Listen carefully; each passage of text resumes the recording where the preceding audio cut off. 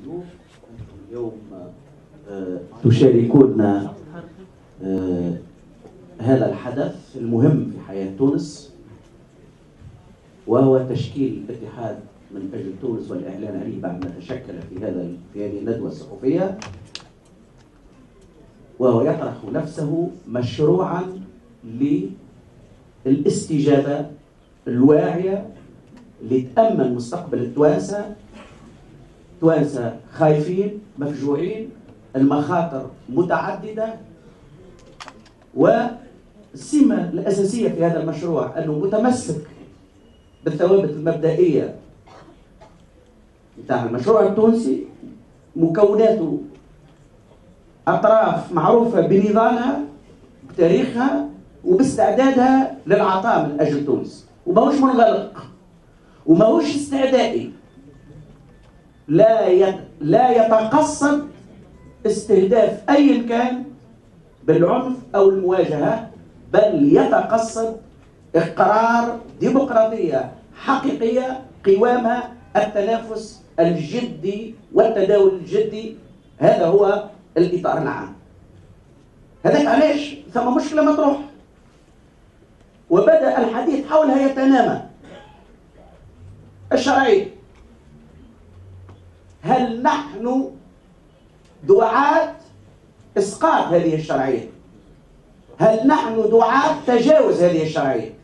لا شك أن التوانسة الكل يعرفوا الانتخابات 23 أكتوبر رغم كل ملاحظاتهم عليها هي مكسب لتونس وهي الشوط الأول من الانتقال الديمقراطي اللي إحنا متمسكين به. وندافعوا عليه ونحبوه يدعم علاش على خاطر ضعف وأصيب بالخدش. وفهمنا للشرعية ماهوش التمسك والتحصن بالمواقع والمكاسب والغنائم. الشرعية ليست دفاع عن الغنيمة. الشرعية هي دفاع على مصلحة تونس. و... وما نقوله نابع من الواقع. التوانسه الكل في الشارع اليوم. يتسائلوا على اللي عملوه في 23 أكتوبر. واهتزت الثقة. إحنا نقولوا المؤسسات هذه بالنسبة للاتحاد من أجل تونس ليست مطروحة للإسقاط وليست مطروحة للتجاوز وإنما مطروحة للتدعيم من خلال الوفاق الوطني اللي عنده شروطه ويلزم الناس اللي في موقع الشرعية ويدافعوا عليها باعتبارها مكاسب يرجع لهم شاهد العقل ويفهموا ما عادش نجموا نقدموا بعد ما المواعيد لم تحترم الالتزامات الأخلاقية لم تحترم حتى شيء من مكاسب البلاد لم يحترم وأصبح الاغتيال السياسي في الشارع في نماذج من الجريمة السياسية غريبة على بلادنا وعلى تقاليد بلادنا. من هنا جاء طرحنا لضروره لضرورة تدعيم الشرعية الانتخابية اللي هي على الراس والعين ولكن أيضا لم تعد كافية ولا بد من تدعيمها بتوافق وطني بدون أي استثناء. والتوافق الوطني هذا يجد تكريسه في مسألة المؤتمر الوطني للإنقاذ. نحن لا نعتبر المؤتمر الوطني للإنقاذ بديلا للمؤسسات الشرعية القائمة. بل نراه اطارا للحوار بين القوى السياسية الوطنية الكل.